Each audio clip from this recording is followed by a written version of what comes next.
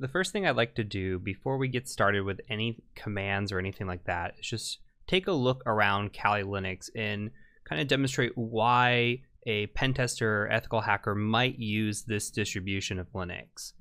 Now, throughout the course, as stated in the last video, you might see a different version of this pop up as I recorded videos on some of the older versions. Everything should still work just as is. You just might see a different uh, look and feel to some of the Kali interface, but all the commands I'm going to show you, everything that we do is going to be the same.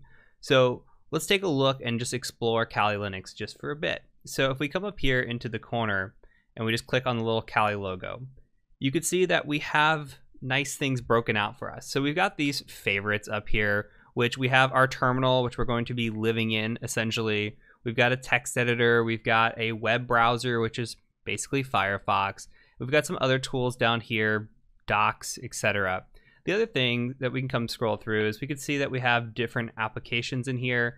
Um, if we look at the different sections, these kind of go in order, which we haven't covered quite yet, but in the order of how a hack might go down. So information gathering is usually the first step. You can come in here, look through this, and here's a bunch of tools related to information gathering. You can even click into these and go deeper if you wanted to, related to specific things. So DNS or SMB or open source intelligence.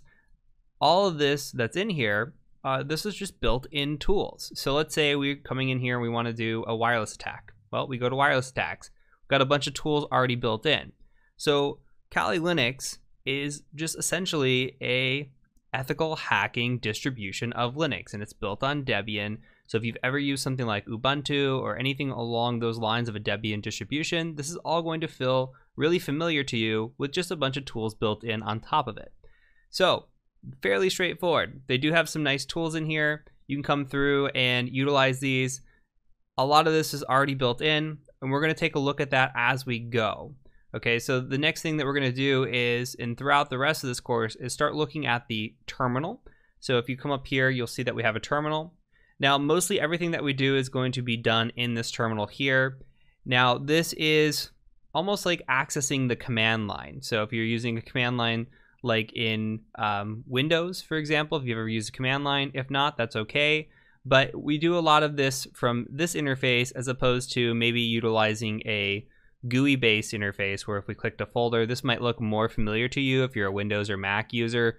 You come in here, you have this kind of area. Eh, yeah, we can do that. And sometimes we'll utilize this, but a lot of times we're going to be living right here. Okay, so um, as we move forward, we're going to start talking about this command line, how we can utilize it and use it to our advantage, and then we'll do some tips and tricks and um, hopefully learn some pretty neat stuff as we go. So in the next video, I'm going to cover the sudo feature, which I think is important. It's something that was brought in. Now, originally we had something called a root permission, and we'll talk about that.